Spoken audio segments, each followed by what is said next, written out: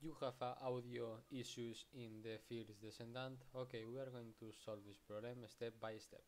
Okay the first step okay we are going to the search windows okay and you put sound okay?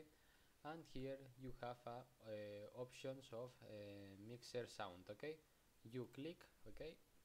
And here in the devices you put okay uh, you select the uh, device okay have you okay and if not work this okay we are going to the windows search and you put the control panel okay?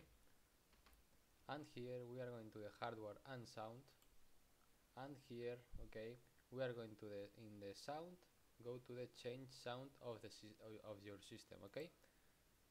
And here okay uh, you have in the reproduction you have uh, this okay uh, your devices okay and you uh, if not have uh, enable okay you enable the your device okay and you go to the properties okay and go to the uh, advanced options okay and here you put your CD okay of the format okay of your device. You apply it and you accept and you solve the problem. Bye bye